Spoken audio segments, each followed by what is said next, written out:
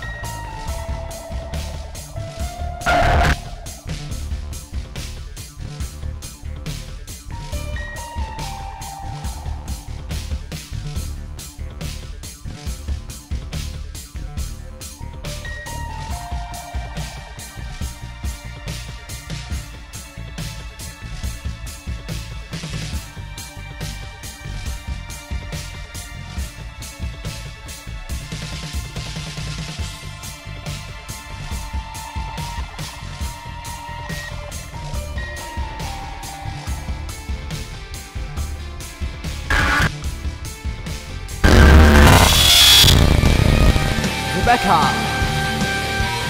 your father and I are concerned over you. You're, you're just locked away in your room for I, I, I don't fucking know for how long. But please open the door. We are here to help you. Just open the door,